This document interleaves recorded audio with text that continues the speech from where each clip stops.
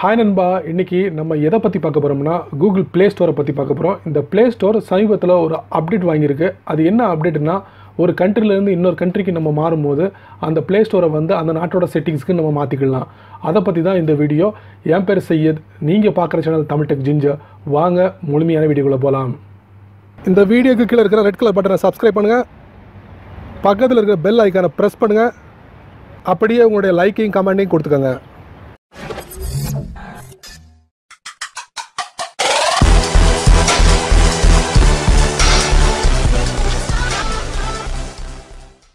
பொதுவாக Google play store மூலியமாக launch பண்ணக்கூடிய எந்த ஒரு அப்ளிகேஷனும் எல்லா நாடுகள்லையும் டவுன்லோட் பண்ணக்கூடிய ஒரு வாய்ப்பு கொடுக்கறதில்ல.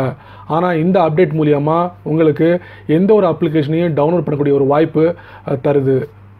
ஸோ இந்த கண்ட்ரி செட்டிங்ஸ் சேஞ்ச் பண்ணுறது வந்து ஐடியூன்ஸில் பார்த்தீங்கன்னா ஆப் ஸ்டோரில் பார்த்தீங்கன்னா அவங்க வந்து ஆல்ரெடி கண்ட்ரியை சேஞ்ச் பண்ணக்கூடிய ஒரு ஆப்ஷன் ஆல்ரெடி கொடுத்துட்டாங்க.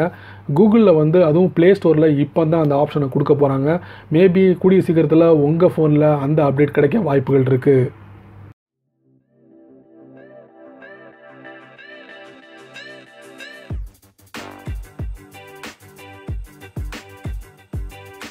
நீங்கள் எந்த நாட்டுக்கு மூவ் பண்ணுறீங்களோ அங்கே உள்ள ஐபி அட்ரஸை டிடெக்ட் பண்ணுறது மூலியமாக உங்கள் கண்ட்ரியோட செட்டிங்ஸை எளிமையாக மாற்ற முடியும்.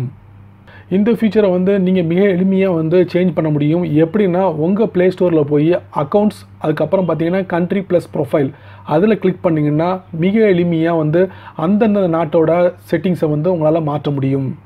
நண்பர்களே இந்த ப்ளே ஸ்டோரில் உள்ள கண்ட்ரி செட்டிங்ஸ் சேஞ்சஸ் வந்து எல்லா மொபைல்கள்லையும் பார்க்க முடியறதில்ல.